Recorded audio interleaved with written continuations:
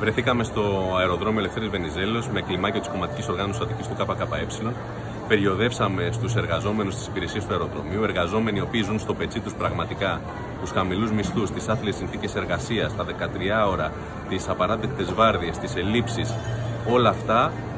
για τα οποία τα σωματεία, τα συνδικάτα, το ταξικό συνδικαλιστικό κίνημα το πάμε καλεί σε συμμετοχή στην πρωτομαγιάτικη απεργία για συλλογική συμβάσεις εργασίας, για σύγχρονα δικαιώματα, για αυξήσεις του μισθούς που να ξεπερνάνε τον πληθωρισμό. Ακόμη, κουβεντιάσαμε με τους εργαζόμενους την ανάγκη που υπάρχει σήμερα πραγματικά να καταδικάσουν με τον αγώνα τους αλλά και με την ψήφο τους στις 9 Ιούνιους στις ευρωεκλογές την πολιτική εκείνη που δημιουργεί αυτά τα πιεστικά, τα τεράστια προβλήματα για την εργατική τάξη, τα κόμματα